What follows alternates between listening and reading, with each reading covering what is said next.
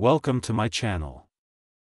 Netgear Orbi 770 Series Wi-Fi 7 Mesh System, Setup. First, unbox and connect hardware, unbox the Orbi router and satellites, connect the Orbi router to your modem using the provided Ethernet cable, plug the Orbi router into a power outlet and turn it on.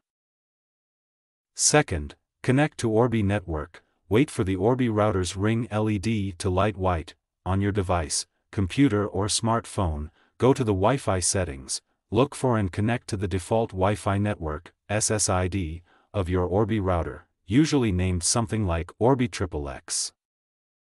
Third, access Orbi setup page, open a web browser, e.g., Chrome, Firefox, on your connected device, in the address bar, enter http colon slash slash orbilogin.com or http colon slash slash 192.168.1.1 and press enter. You should see the Orbi login page.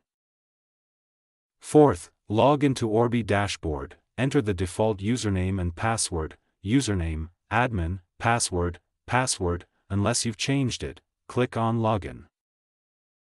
5. Set up Internet connection. The Orbi Setup Wizard will guide you through setting up your internet connection. Follow the on-screen instructions to select your internet connection type, usually DHCP for most home setups.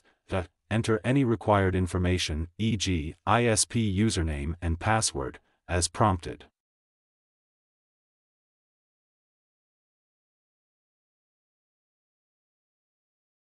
6. Set up Wi-Fi network. Follow the wizard to set up your Wi-Fi network name, SSID, and password. You can customize these settings to your preference.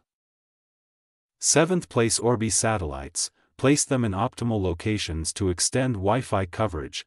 Use the Orbi admin dashboard to ensure satellites are working correctly.